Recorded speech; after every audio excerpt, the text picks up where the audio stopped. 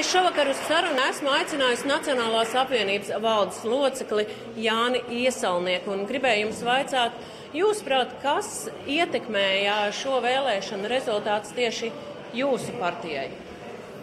Es eh, pirmkārt gribētu pateikties visiem Nacionālās apvienības vēlētājiem, kas ja šie aptaujas rezultāti iz, nu, būs tuvi, tuvi īstajiem, tad uh, izskatās, ka mūsu uh, atbalstītāju lokus ir krietni vairojies, kas nozīmē, ka cilvēki novērtē to darbu, ko mēs esam trīs gadu garumā veikuši valdībā, ar tiem uh, principiālajiem sasniegumiem, kas mums ir bijuši un par ko mēs esam principāli iestājušies, un, un, un cilvēki to ir novērtējuši. Un, Vēl uh, gribētu uzsvērt arī apstākli, ka faktiski mūsu uh, vēlēšana kampaņa izmaksāja to pie desmit reizēm mazāk nekā jebkurai citai līderpartijai, kur rezultātu tuvumā mēs esam.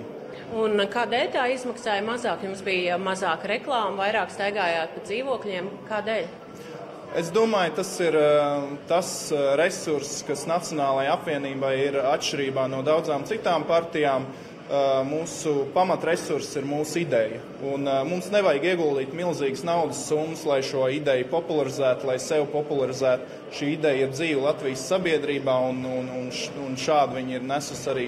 Uh, teiksim, mēs šīs idejas vārdā veicam darbus saimā un valdībā, un līdz ar to arī cilvēki to novērtē, ka mēs darbojamies idejas vārdā, nevis pirms vēlēšanām uzliežam dārgu reklāmas kampaņu un, un, un pēc tam atkal par tautu aizmirstam. Vai nav tā, ka īstenībā cilvēki novērtē netik daudz jūsu darbu valdībā un saimā, kā nu, tā jūsu uzvara savā ziņā ir arī pateicoties Putina agresīvajai politikai?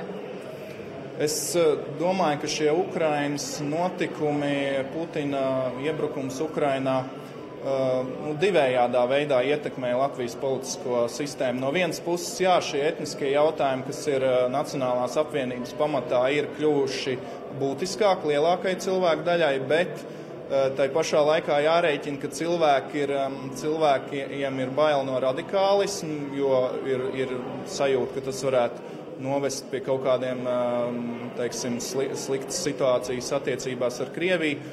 Un, vairāk, e, e, es, es domāju, ka š, arī cilvēku uz centriskajiem spēkiem vairāk, vairāk liekas. Jūs pašu balsts. arī bieži saistat tieši ar šo radikālāko virzienu arī pašā Nacionālajā apvienībā, vai jūs tā kā kļūsiet mērenāks, ja jūs uzskatāt to jūsu politiku par pietiekamu? Nē, es, es tādi, tādi, tādas idejas, kādas man ir bijušas kopš mēs dibinājām visu Latvijai, tās nav mainījušās. Viņas ir nobriedušas, protams, eh, augot kopā ar mums, ja teiksim, bet, bet eh, cilvēki novērtē to, ka mēs pieturamies pie savām idejām un nenododam tās. Pavaicāšu pavisam konkrēti, vai jūs arī šogad cepsiet piparkūkas kārškrustu formā? Es cepšu, droši vien cepsim mājās piparkūks, kā mēs to darām no 2005. gada. Un uh, tas, uh, kādās formās tas būs, to mēs, to mēs, to mēs tajā brīdī izdomāsim. Mums uh, vienmēr ir dažādas latviešu raksts zīmes, uh, tā skaitā ugunskrusti, un varbūt, teiksim, tieši šī ugunskrusta ielikšana sociālos tīklos ir kaut kādā ziņā mm, dažiem likās provokatīva, bet, manuprāt, mēs esam bieži vien pārāk, pārāk, pārāk cenšamies būt pārāk politkorekti un atkāpties no tām, eh, tām vērtībām, kas mums latviešiem ir. Mēs arī dziesmu svētkos, deju svētkos redzam, ka, eh, ka dejotāji veido šo, šīs latviešu zīmes, tā skaitā ugunskrustu. Mums, tāpēc, ka kādam tas nepatīk, nav jāatkāpjas no mūsu identitātes. Labi, paldies jums šovakar. Mēs vēl raidījuma gaitā tiksimies, un es tad domāju, ka svinības jau būs krietni vairāk iesilušas.